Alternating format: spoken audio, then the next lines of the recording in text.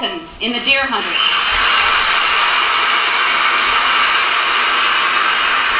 And Jack Warden in Heaven Can Wait.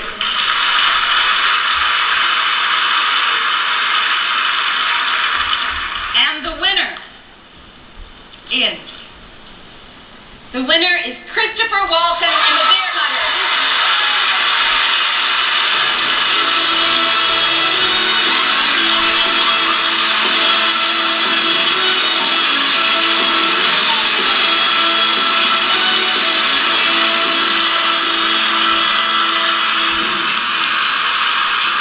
Thank you, Michael.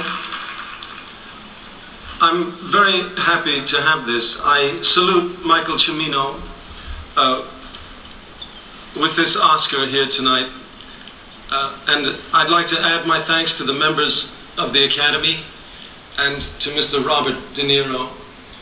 Thank you all